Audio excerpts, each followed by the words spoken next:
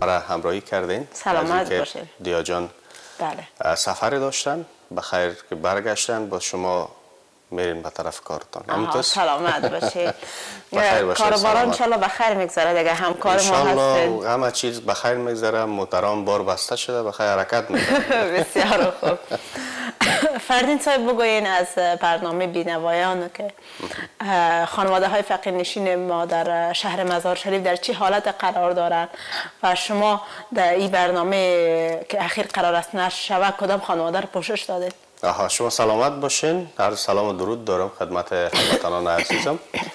امیدوار هستم همهشان جور صحتمند باشند به ذهن هموطنان ما این موضوع نگرده که من مسئول توزیع کمک ها هستم. چون همیشه تماس می‌گیرن میگن که با ما چه وقت کمک میاری. بله. یک برنامه تلویزیونی هست که به امت والای جناب دکتر سید پیکان کمک صورت می‌گیره. ما فقط یک وسیله میشیم یک برنامه می‌سازیم و این کمک برای فامیل مستحق که در ولایت بلخ است تسلیم می‌کنیم. بله. در قالب یک برنامه. برنامه که ما یه هفته داشتیم با یک فامیل بود که واقعا خیلی خیلی جگرخون کننده بود. زندگیشان مشکلاتی که در زندگی داشتن. یک پدر پیش سفید بود در این فامیل که از اثر نبود امکانات درست مادی که برن درست خود تداوی کنن نتونستن یک پای خود از دست دادن. متاسفانه که شکر داشتن یک جایشان که زخم شده بازم آیستا آیستا زخم زیاد شده یا مجبور شدن دکتران نظر دادن که باید پایشان قطع شد متاسفانه ما از قطع پایی هموطن عزیز ما میشه که ایرم از نبود امکانات درست مادی در این خانواده بودن.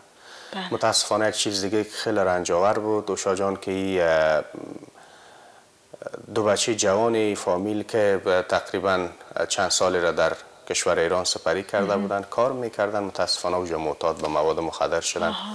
دوباره که به افغانستان آمدن فعلا در وضعیت بسیار بد قرار دارن. اصلا سه چهار ماه میشه که هیچ خبر از او نیست. میگن که در بین معتادینی که در کوچه و پس کوچه و در جاده های عمومی و در هر گوشه از مزار ما می‌بینیم که یا جمع میشن و اوجا مواد استفاده می‌کنن در اونجا حضور دارن و از وضعیت پدر، مادر و خواهرانشان بیخبر هستند که در چه وضعیت قرار دارند. و یک حادثه بسیار ناگوار دیگه که در فامیل دو ماه پیش رخ داده ای بوده که به خانمی که دختری پدر پیش سفید است که در کنارش نشسته بعدا ویدیو را ما و شما می‌بینیم. و دو ماه قبل شوهرشان از دادن از اثر آتش سوزی در نانوایی که یا نانپس بودن کار می‌کردن. متاسفانه وقتی که شب آتش سوزی میشه سه نفر داخل نانوایی بودن. دو نفرش موفق میشه. خدا پس نانوایی بیرون کنه و یک نفر دیگه در آتش میسوزه. از خواب بله از خواب بیدار نمیشه. در آتش میسوزه. که واقعا خیلی جگرخون کننده بود. بله. اصلا نمی‌خوایم در فضای صبح هموطنان عزیزمون گرچه هر صبح ما با یک انتحار و انفجار و با یک آفت شروع میشه. بله. اما هر چی که حکمت خداوند باشه هر چی که خواست خداوند باشه پناه به او می‌بریم و از خداوند می‌خواهیم که بالای همه مسلمانان دنیا به خصوص افغانستان بالخصوص بلخ رحم کنه تا باشه که ما زیر پرچم صلح زندگی کنیم و همه کنار هم برادر و خواهر باشیم تا در قسمت آبادی و باسازی وطن هر کدام ما سهم خود ادا کنیم. متاسفانه این فامیل خیلی مشکلات زیاد دارن. امیدوار هستم هموطنان عزیز ما بعد از دیدن ویدیویی که تا چند دقیقه دیگه او را می‌بینن برای خانواده هرچی زودتر کمک کنن. اداراتی که مکلف هستند در قسمت کمک برای معلولین و هم توجه جدی کنن. یک ولچره که نزدی خانواده هست او را از کسی دیگه مثل امانت گرفتن که قبلا او مشکل داشته که پایش معلول بوده و بعد از اینکه کم صحتیاب میشه او باز با اسا چوب میگرده بازی ولچر خود گفته کاکا خودت بگی تا ای که خودت هم یک ذره صحتمند میشی. دیگه خیلی مشکل جدی داره و خوبی گپ قبلا نی بوده که کاکای ما تقریبا 60 سال آشپز بسیار ماهر بوده. در سطح افغانستان در چندین ولایت آشپزی کرده که همه هموطنان عزیز اکثریتشان با چهره از آشنا هستند در سطح افغانستان. متاسفانه امروز هیچ کس از او خبر نمی‌گیره. در حالت بسیار ناگوار قرار دارن. امیدوار هستم که دولت و همچنان این جوهایی که در رس کمک ها هستند و کمک هایی که به نام دسترخوان ملی هوار میشه به نام این آن هوار میشه قبلیت بر همچو فامیلا باشه خیلی خوب میشه. انشالله دیگه خانواده فقط مو پیرمرد است که پدر از همراه با دخترش. دیگه کس وجود داره تقریبا سه فامیل زندگی می‌کنن دو پسر که نام گرفتین یا هم ازدواج کردن که خانمایشان در امو خانه هستن. خانمایش هستن اما خود پسرها معلوم نیست. پسرها نیستن و و هم دو سه ماه میشه به خانه آمدن همه مصارف فامیل بالا یک برادرشان است که و ترفروشی می‌کنن یعنی سبزیجات به فروش میرسانن در مندوی مزار شریف. امو خانواده را با مادرش چرخش میته که مادرش هم به کالاشوی بعضی کارهای دیگه میره که همی کار خانه پاک و همی گپا انجام میته از او طریق پولی که بعد میارن یا هم چهار هزار کرای اولی را مجبور هستن تکمیل کنن و هم روزانه یک لغمنان بخورن که خیلی رنجاوری بود که گفت تا, هنوز گفت اولادای ما درست میوه و چیزها نخوردن. و خیلی برشان سخت. تمام میشه تقریبا 5 6 تا نواسه و کواسه و اینا هم در فامیل بود. باز در فامیلی که تفلکا باش خیلی سخت است که یک مرد پایش معلول باشه. چیزی کردن نتونه خیلی بله. رنج می‌بره. دقیقا. امیدوار هستیم که هموطنهای مادهی راستا که دستشان می‌رسن و کار بکنن و سپاس از همکار خوب ما فردین عبدی که چنین خانواده های را بر ما در نشان میده که ما در شهر مزار شریفی که زندگی می‌کنیم چنین خانواده های با مزرد با این روزگار زندگی می‌کنن.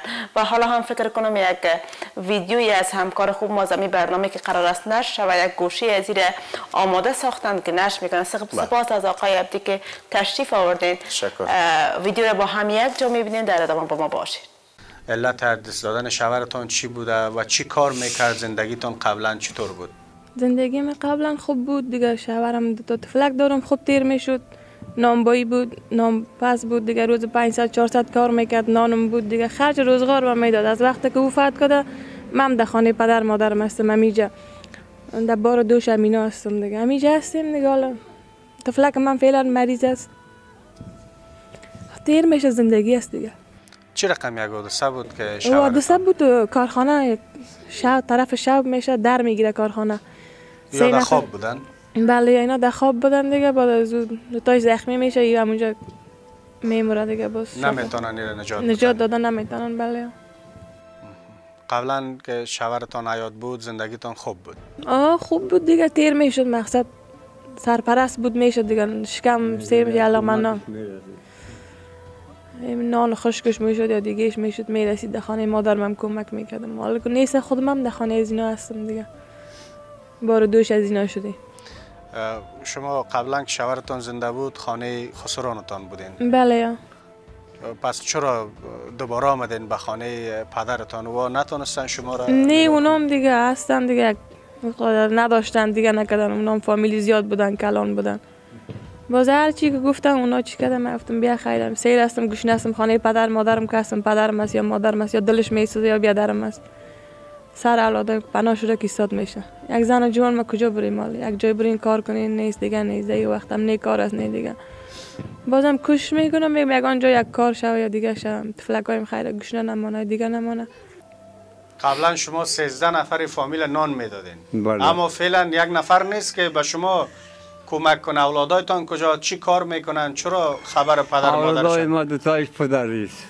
یکیشون اونجا ترد می‌کنه یک ساعت دو ساعت پیدا می‌کنه.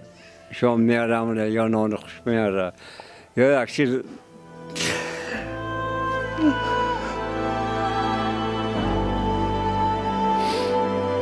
لبدا سوک رو خوردن چه چاش رو خورد